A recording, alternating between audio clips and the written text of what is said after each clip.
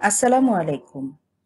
Engineering university girls school and college আয়োজিত online ক্লাসে আমি বাংলা বিষয়ের প্রভাষক ইফাত আরাতোলা তোমাদের সকলকে স্বাগত জানাচ্ছি। আশা করি তোমরা সকলেই ভালো আছো, সুস্থ আছো। একাদশ শ্রেণির বাংলা দ্বিতীয় পত্র ক্লাসে আজ আমাদের আলোচ্য বিষয় সমাস। শিক্ষার্থীরা শুরুতেই চলো আমরা দেখে নেই সমাসের সংজ্ঞা কি। সমাস কাকে বলে? সমাস শব্দটির অর্থ সংক্ষেপ, মিলন, একাধিক পদের এক প্রতিকরণ।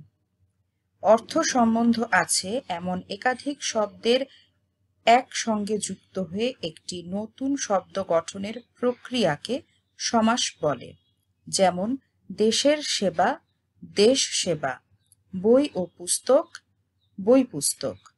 নেই পরোয়া যার, বেপরোয়া। বাক্যে শব্দের ব্যবহার সংক্ষেপ করার উদ্দেশ্যে সমাসের সৃষ্টি। সমাস দ্বারা দুই বা ততোধিক শব্দের সমন্বয়ে নতুন অর্থবোধক পদ সৃষ্টি হয়। এটি শব্দ তৈরি ও প্রয়োগের একটি বিশেষ রীতি।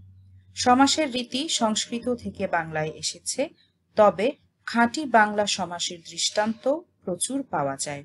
সেগুলোতে সংস্কৃতের নিয়ম খাটে না।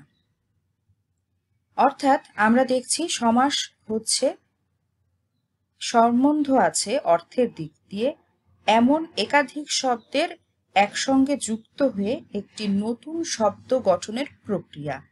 এই প্রক্রিয়াকে বলেই এই প্রক্রিয়াটিকেই বলে সমাস। যেমন আমরা এখানে উদাহরণ দেখেছি, দেশের সেবা। এই দুটো শব্দ মিলে, দুটো পদ মিলে একটি নতুন শব্দ গঠিত হলো। সেটি হলো দেশ সেবা।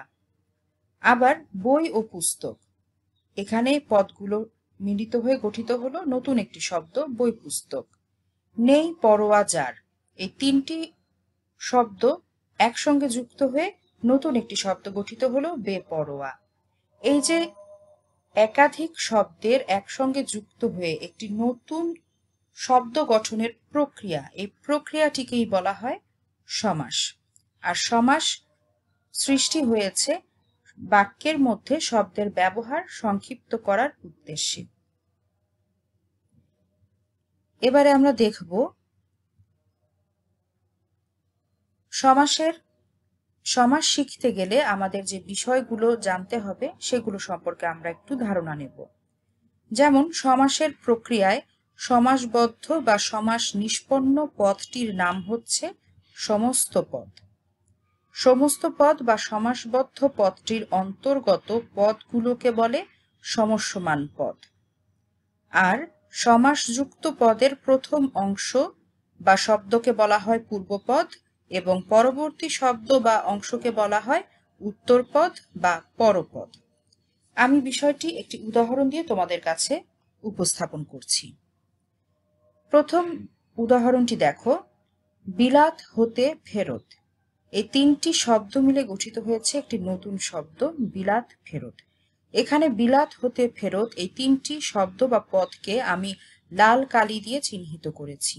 এই তিনটি শব্দ নিয়ে গঠিত হয়েছে ব্যাস বাক্য এই ব্যাস বাক্য আমাদের এই সমাসের ব্যাস বাক্য হচ্ছে বিলাত হতে ফেরত। আর বিলাত ফেরত এই শব্দটি হচ্ছে সমস্ত পদ। অর্থাৎ সমাস প্রক্রিয়ায় যে নতুন শব্দটি তৈরি হয়, সেটি হচ্ছে সমস্ত পদ। আর সমস্ত পদকে ভাঙলে যে শব্দগুলো পাওয়া যায়, অর্থাৎ যে শব্দগুলো সংযুক্ত হয়ে সমাস প্রক্রিয়ায় নতুন শব্দ গঠিত হয়, সেই শব্দগুলো নিয়ে গঠিত হয় ব্যাস বাক্য। আর ব্যাস বাক্যের ভেতর অবস্থিত বা ব্যাস বাক্যের অন্তর্গত যে শব্দগুলো রয়েছে সেগুলো এক একটি সমস্যমান পদ। যেমন বিলাত, একটি সমস্যমান পদ। হতে এটি একটি সমস্যমান পদ। আবার ফেরত, এটিও একটি সমস্যমান পদ। অর্থাৎ ব্যাস বাক্যে যে শব্দগুলো থাকে বা যে শব্দগুলো একত্রিত হয়ে সমাস প্রক্রিয়ায় শব্দ তৈরি হয়, সেই শব্দগুলো এক একটি সমস্যমান পদ। আরেকটি বিষয় আছে পূর্বপদ এবং পরপদ। আমাদের সমস্ত পদ হচ্ছে বিলাত ফেরত। এই বিলাত ফেরত শব্দটির শুরুর অংশ, প্রথম অংশ হচ্ছে বিলাত, এটি পূর্বপদ আর ফেরত হচ্ছে পরের অংশ, তাই এটি পরপদ এই পরিভাষাগুলো বা এই অংশগুলো তোমাদের মনে রাখতে হবে, তাহলে সামনে আমরা সমাসের যে আলোচনা করব, সেই আলোচনাগুলো তোমাদের বুঝতে সহায়ক হবে। এবার আমরা দেখব সমাস কয় প্রকার? সমাস ছয় প্রকার। এক, দ্বন্দ্ব সমাস, দুই, কর্মধারয় সমাস, তিন, তৎপুরুষ সমাস, চার, বহুব্রীহি সমাস, পাঁচ, দ্বিগু সমাস এবং ছয়, অব্যয়ীভাব সমাস। আজ আমরা আলোচনা করতে যাচ্ছি দ্বন্দ্ব সমাস। যে সমাসে প্রত্যেকটি সমস্যমান পদের অর্থের সমান প্রাধান্য থাকে, তাকে দ্বন্দ্ব সমাস বলে। যেমন, তাল ও তমাল। সমান সমান গঠিত হলো তাল তমাল দোয়াত ও কলম সমান সমান দোয়াত কলম। এখানে লক্ষ্য করো, তাল ও তমাল এবং দোয়াত ও কলম প্রতিটি পদেরই অর্থের প্রাধান্য সমস্ত পদে রক্ষিত হয়েছে। এ কারণে এই, এইগুলো দ্বন্দ্ব সমাসের উদাহরণ। দ্বন্দ্ব সমাসে পূর্বপদ ও পরপদের সম্বন্ধ বোঝানোর জন্য ব্যাসবাক্যে এবং ও, আর এ তিনটি অব্যয় পদ ব্যবহৃত হয়।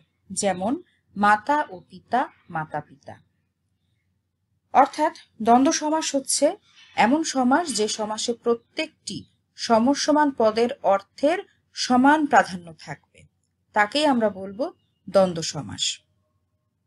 এবং দ্বন্দ্ব সমাসের ব্যাসবাক্যে পূর্বপদ ও পরপদের সম্বন্ধ বোঝানোর জন্য এবং ও আর এই তিনটি অব্যয়পদ ব্যবহৃত হবে। এবার আমরা দেখব দ্বন্দ্ব সমাস কয়ভাবে সাধিত হতে পারে। প্রথমে আছে মিলনার্থক শব্দযোগে, যেমন মা বাপ, মাসি পিসি, জিন, পরি, চা, বিস্কুট ইত্যাদি। মিলনার্থক শব্দযোগে অর্থ হলো এই পূর্বপদ এবং পরপদের মধ্যে একটি মিল বোঝাবে বা একটি সম্পর্ক বোঝাবে।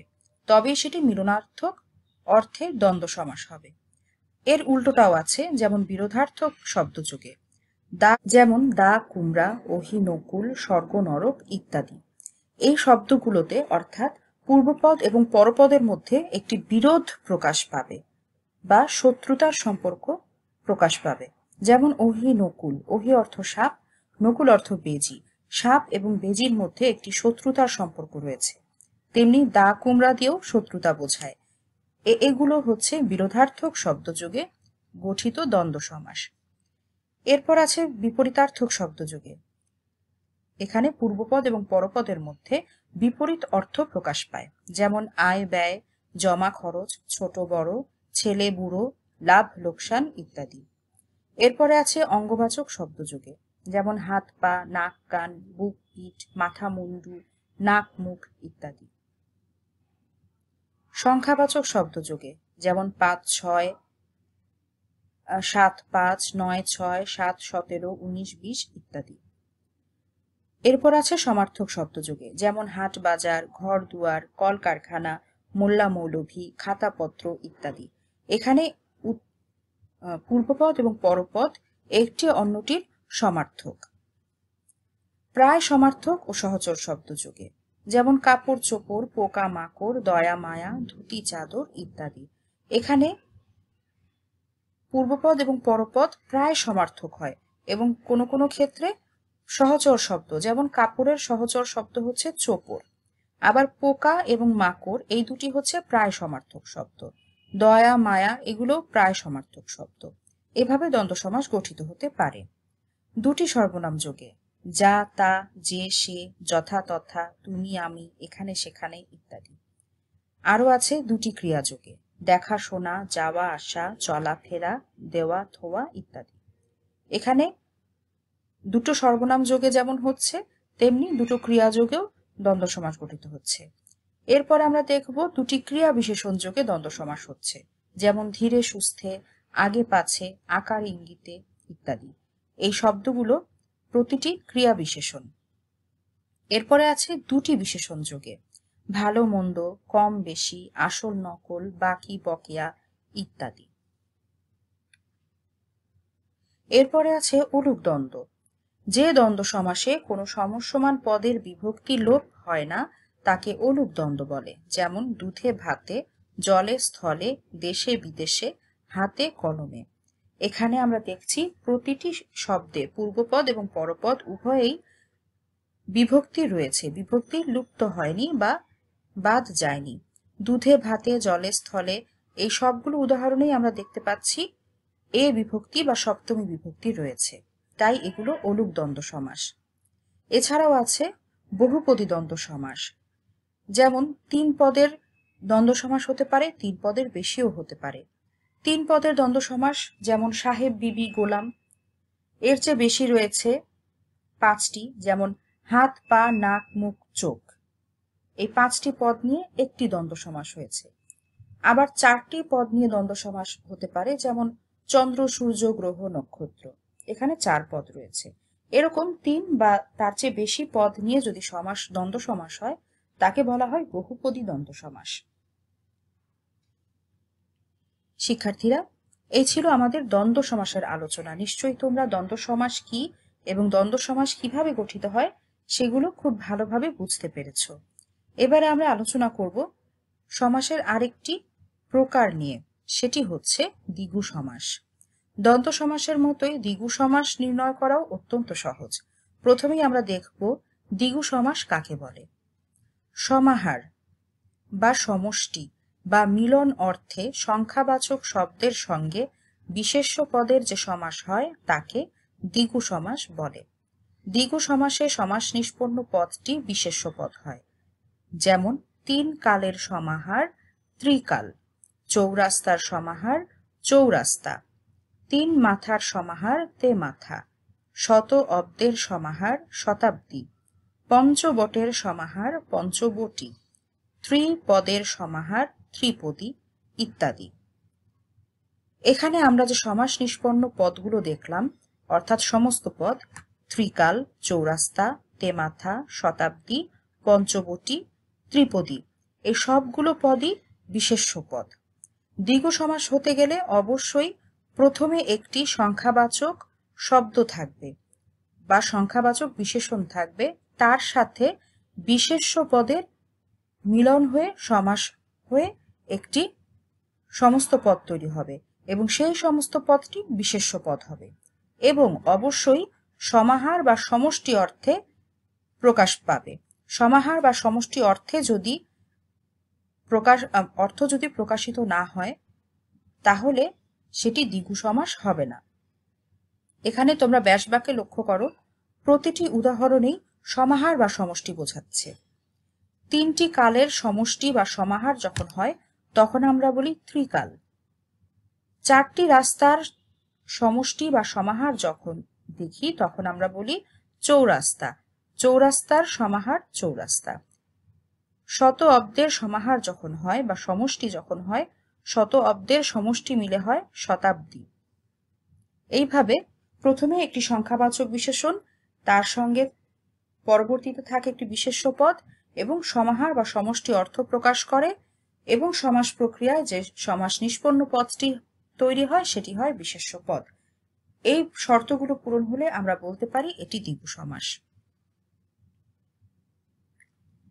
শিক্ষার্থীরা। এবার আমরা দেখব শিক্ষার্থীরা, আশা করি তোমরা সকলেই দ্বন্দ্ব সমাস এবং দ্বিগু সমাস, এই দুটি সমাসই আজকে খুব ভালোভাবে বুঝতে পেরেছ। তোমরা সকলেই বাসায় আরেকবার পড়বে। বইতে যে উদাহরণগুলো দেয়া রয়েছে, সেই উদাহরণগুলো তোমরা অনুশীলন করবে। তাহলে তোমাদের কাছে বিষয়টি আরও পরিষ্কার হবে। এতক্ষণ ধরে আমাদের সাথে ক্লাস করবার জন্য তোমাদের সকলকে জানাচ্ছি অনেক ধন্যবাদ। শিক্ষার্থীরা, তোমরা বাড়িতে থাকার পাশাপাশি অবশ্যই স্বাস্থ্যবিধি যথাযথভাবে মেনে চলবে। সেই সাথে বাসায় নিয়মিত পড়াশোনাও চালিয়ে যাবে। খুব শীঘ্রই দেখা হবে পরের ক্লাসে। তোমাদের সবার সঙ্গে। তোমরা সকলে ভালো থাকবে, সুস্থ থাকবে। এই কামনায় আজকের ক্লাস থেকে আমি এখানেই বিদায় নিচ্ছি। Stay home stay safe